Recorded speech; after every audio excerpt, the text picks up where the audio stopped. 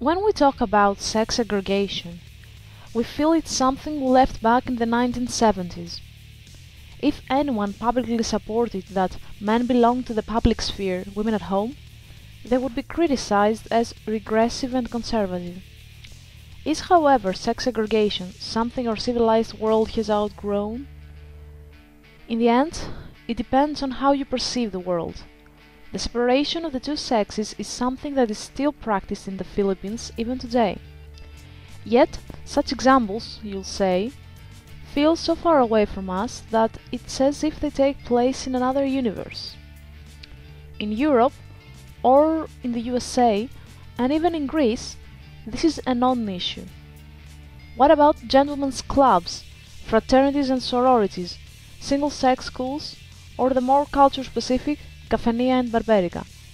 Nobody can deny that, at least in our part of the world, we've come a long way since the 1970s. Yet we can also deny that sex segregation is still happening in our days. You're probably wondering, why would sex-exclusive places be such a big deal? For every fraternity, there is a sorority. For every boys-only school, there is a girls-only school. For every barberigo, there is a hairdresser's, although these are not strictly exclusive of men. Isn't this a sign of gender equality? There is nothing wrong with women and men wanting to meet in separate places. What is wrong is when these separate places translate into different access to opportunities. In his article, David S. Cohen argues how sex segregation in education may lead to better occupational chances for men than for women. Quote, Boys learned from teachers with greater knowledge bases in the subjects they taught. Boys had access to almost twice as many books in their library. Boys had opportunities to take a wider range of courses and boys had an alumni network that was much more extensive, accomplished, and active in networking with the students. Unquote. Even something innocently looking as a men's only golf club can strip women of possible job-related advantages. A large part of networking in American business world takes place in such clubs. Sex segregation, Daphne Spain argues, excludes women from partaking in the transfer of socially valuable knowledge. As long as there is sex segregation and men-only places are the sites where this knowledge is concentrated, women's place will be inferior to men's. However, it's not just an issue of the practical distribution of knowledge. Space is not innocent. It can shape attitudes and foster prejudice. Sounds impossible, doesn't it? How can something external, like space, influence something internal, like our perception? According to Shirley Ardener, space segregation reflects social segregation. And yet, it functions more than just a mirror. It helps perpetuate these hierarchies through the spatial limitation of the people who occupy it. It is not accidental for Daphne Spain that the societies with higher sex segregation diachronically and cross-culturally are usually the ones with a greater gap between the two genders' social status. Basic psychological processes are at play here, namely that of team belonging. Michael Kimmel identifies three important ones. 1. Those who are outside are different from those inside the group. 2. Those who constitute the group are superior to the outsiders. 3. As a group, there is a common mentality that assigns it coherence. Any individual deviations in attitudes may be suppressed for the sake of unity. Where there is sex segregation, a separation between man and woman, there is the unconscious message that these two entities are two different groups. In a group of men, the psychological need to feel superior to the outsiders of the group translates into disparaging prejudice against women. Cohen cites a study which suggests that sexist jokes or the sexual objectification of women occurs more often when women are not present. In male-only schools, boys are supposed to be taught with different material so as to become appropriately masculine. Even if individual members of the male group feel differently, they will hesitate to stand up to the prevalent opinion in fear of disrupting the group's coherence.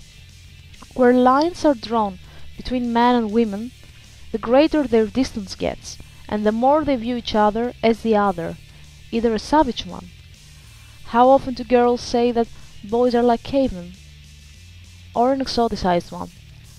How many men believe that women are there to satisfy our sex drives? Spaces are not just places, the material, tangible environment, the background setting of action. They have an invisible, immaterial aspect as well. They constitute the expression of a particular set of social relations. The more attuned we become to this, the more likely it is to change such possible problematic relations and redefine pre-existing places.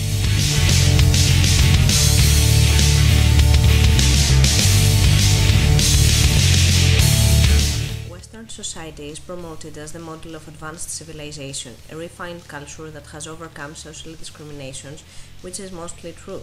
A socially inclusive society is defined as one where all people feel valued, their differences are respected, and their basic needs are met so they can live in dignity. Is it, though, safe to say that these principles are represented in everyday life, when spaces where people feel excluded based solely in their sex still exist? As our survey indicates, the special features of each sex make people feel as if they have more rights in certain spaces. In some cases, this may even lead to the point of feeling they have the right to exclude the other sex. As remarked by James Twitchell, a generation ago, exclusion on the basis of sex was the norm. In many cases today, the expression of such ideas may arch some eyebrows or even trigger passionate confrontations depending on the environment they will be expressed in. The truth is that there are clearly places traditionally thought of as women's or men's territory, either inside the house or outside. Thus, as Twitchell explains, understanding the sex of space might help us understand the often paradoxical and even testy uses of territory as a way of marking off personal boundaries, edges of the self. Like other animals, we are territorial and we squabble when invaded. As evidenced by the results from our survey, there are clearly people who feel more in control when in certain spaces. However, it was interesting enough to find out that almost half of the respondents replied with other when they were asked about the spaces inside the house in which they felt more dominant, assuming they chose this answer because they felt that there are no spaces which can be related with certain qualities of their gender. This can be an encouraging indication that there is a shift in mentality. Still, a considerable amount of people were able to identify certain domestic spaces as the place in which their domination is secured, or at least they feel self assured. For both men and women, their first choice was the bedroom, with 17% and 18% respectively. Women's second favorite choice was the kitchen, no surprises there, with 16%, and men's was the living room with 17%. Keeping in mind the predominant norms or gender roles, their preferences are hardly surprising. Even so, taking a closer look to the percentage of these preferences, age of the respondents, mostly between 16 and 25, and the fact that most of them live in urban areas, we can obtain a good grasp of the pace in which gender mentality is changing and its direction. Only a few decades ago, the acceptable places for a respectable woman in Western society were the domestic space, the hair salon, and social functions or events while being escorted by a man guardian.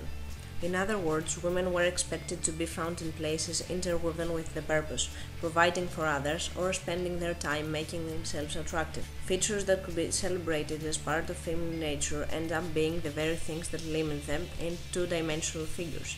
While their position has been substantially improved since then, and we are now able to talk about gender equality without it sounding like wishful thinking for every woman that tends to step outside the prescribed societal stereotypes of feminine fulfillment, there is a narrow minded individual pointing out her overreaching attitude. Such incidents occur on a daily basis from attending or participating in sports events to excelling in the field of science or simply committing themselves to a pursuit of a career, women seem to be held accountable for those choices as if they disrupt some kind of natural order. On the other hand, let us not portray men as facial tyrants, but rather contemplate upon the fact that both sexes face challenges regarding gender realization and the expectations they have to meet as a result of their sex. Men also face social criticism when they tend to wander away from the social constructed idea of manhood. Their setbacks have more to do with the qualities they have to impersonate, being dominant, composed, and adventurous. Someone who prefers to take up the role of stay at home dad is viewed suspiciously. Men that enter seemingly female dominated workplaces deal with the same anxiety, providing their worth just as women would in male dominated areas. However encouraging may have been the results from the question about space dominance, they lose in significance when the amount of people who have faced problems or difficulties because of their gender is too high 59%. It is disheartening to realize that the world we have built for ourselves ends up being oppressive instead of nourishing. Who else is there to blame about that fact but us? To be more specific, 59% of women and 58% of men have had to fend for themselves and or felt uncomfortable, unwanted and embarrassed because of their sex. This saddening fact goes to support that though we tend, not always so unfairly, to blame that male dominant society, men are as confined in gender norms and stereotypes as women. Both sexes have almost equally come face to face with discrimination because of their gender, and in the end, no one seems to have the upper hand. In general terms, what is clear is that spatial control, whether enforced through the power of convention or symbolism, or through the straightforward threat of violence, can be a fundamental element in the constitution of gender in its highly varied forms. Both genders are limited by the boundaries created in their own society, and the fact that this has emerged by their own doings and way of thinking is as saddening as is hopeful. If the problem is recognized, then the only things that remain to change is the way people themselves choose to handle it.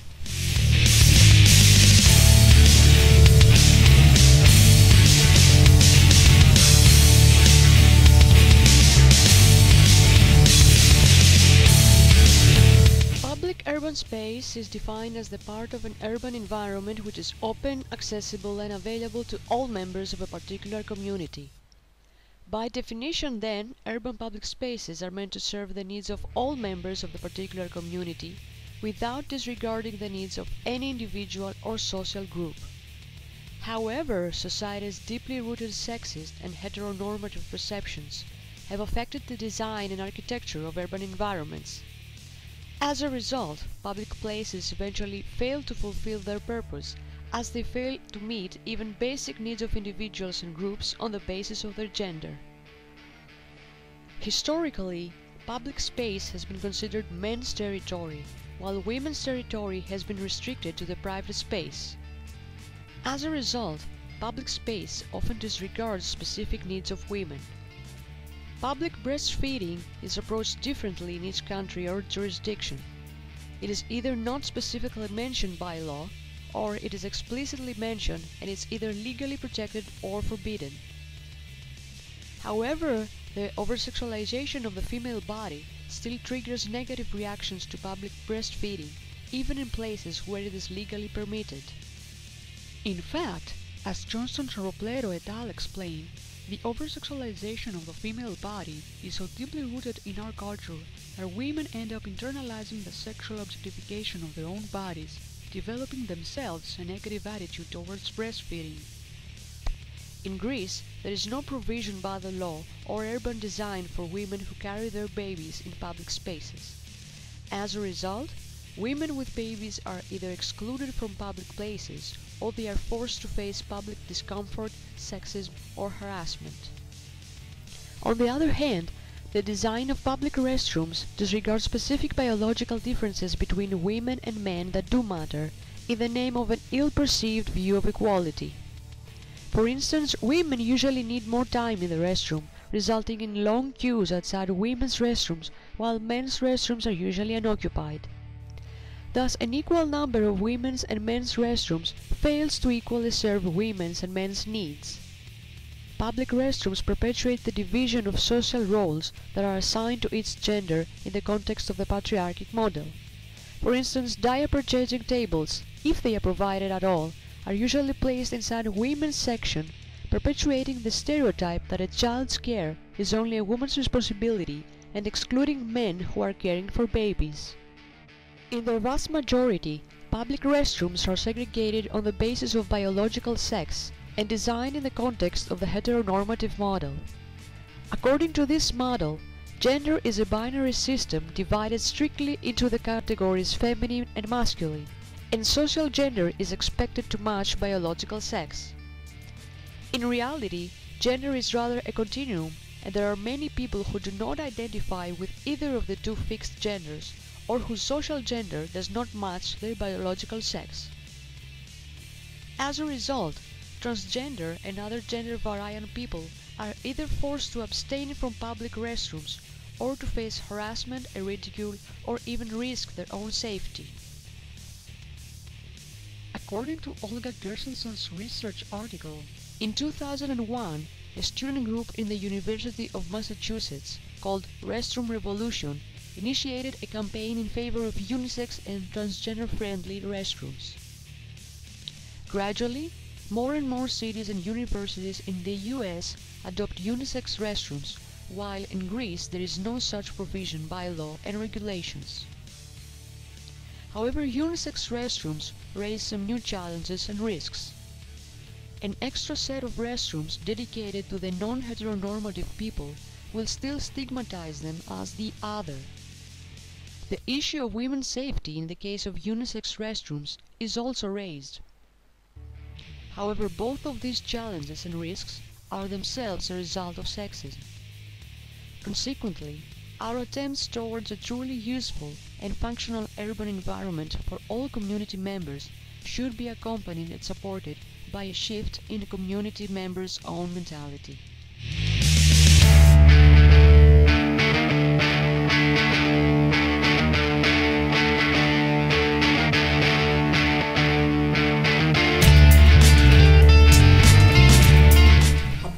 Certain people not enjoying the feeling of belonging at certain places, as mentioned before, remains for many the feeling of fear fear of being in public spaces. There are numerous such spaces that are not safe for women or effeminate men, who are usually advised to never walk all alone or be out late at night. The thing is, they fear not being mugged, be hit by a car, or anything similar. They fear sexual abuse or violence because of their gender expression, in that case, femininity. It seems like being a woman or being feminine equals being in danger all the time. There is this broader perception for women that they exist to please other people by smiling, being kind and caring, beautiful and sexually pleasing when the latter want it. Women are not advertised usually for having strong opinions when it comes to disagreeing with men. They are advertised as flirtatious, pretty people who like being in a relationship and taking care of their man's needs. This leads to problems, as is the development of a rape culture.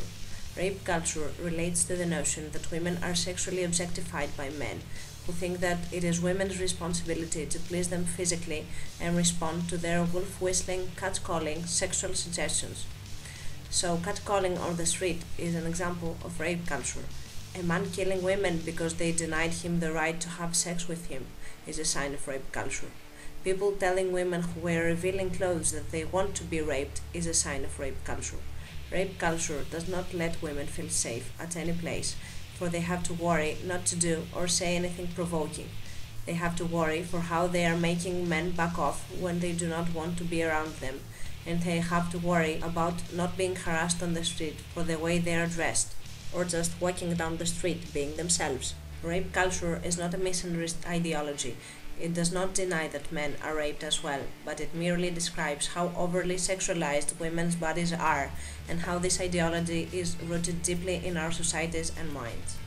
We have all these places that women are especially afraid to frequent alone, like bathrooms, clubs, buses at night, taxis at night, the streets at night, university campuses at night, and night itself. This was a profound conclusion of the questionnaire of this project, as most of the women who filled it in said they do not feel comfortable being on the streets, especially at night. They are afraid that they might be assaulted and that nobody will save them or spare them or acknowledge they actually said no. But violence is not only rape, but also lighter assaults like touching when consent is not given, or the violence of saying inappropriate things without asking for consent, or the violence of staring at someone like they are a piece of property. There is violence in all these types of behavior, which causes fear to women everywhere. Unfortunately, that is not a thing of the past. It is just sometimes so subtle or explained as a natural male behavior that it is or tries to be excused, and women are encouraged to do things to protect themselves from violence, but men are rarely told not to be violent. In the official website of the Greek police force, there are tips for the safety of women, elderly people, and violence in the family. There are no tips for the safety of men, because usually men are or are supposed to be safe and save also others. Apart from public spaces at night, women are discouraged from being alone with men at daytime in case the man is a pervert, because the excuse of the pervert is a very comforting excuse for society. Perverts are few, so the problem is not supposed to be social, but remains with those few. So, for example, taxis and elevators are always a little dangerous for women, or even bathrooms, even though they are highly gendered. Women are afraid to go there alone in case someone tries to assault them. Taxi drivers, who are usually men, are said to be sexist and perverted people who might harm women, especially young women who go out at night and return at home drunk or dressed in a certain way. Buses are like the street at night. Nobody knows when the wrong pervert will be at the wrong place and what the pervert might do, or try to do, or promise to do to a woman he chooses. No solo going at home at night is advised for women. Not that another woman will be a protection, but men, they surely do. This is why mothers always advise their daughters to go out with mixed groups of friends, not only with girlfriends. Rape culture makes itself present in the weirdest places, like gyms, university campuses, workplaces. It is not rare for women to be victims of assaults in any of these places, which are supposed to be equally accessible and available for all genders. But apparently, women are the ones who have to be careful so that nothing happens to them. It is an eternal struggle to fit and feel safe. As a conclusion, our project's questionnaire, or in other words, our survey, showed that it is mostly young women that feel they are not safe in the streets or they should behave in a specific way so as not to make their presence overly known for the eyes or ears of the opposite sex. The questionnaire used the binary man woman in that question and thus the expression opposite sex. Also, judging by their answers, younger people are more cautious about gender and space, so one could start reflecting on the correlation between sexuality and age as factors of social status. Young people, who are usually the most sexually interesting people, are the ones who are more cautious, whereas older people are less cautious about public spaces and behavior as if they were less important and less likely to be in the center of attention. After completing the survey, we had results we did not expect having, as for example, a high number of women saying they believe there should be places for one gender only, an answer that could be interpreted in more than one ways, but we certainly were not expecting it.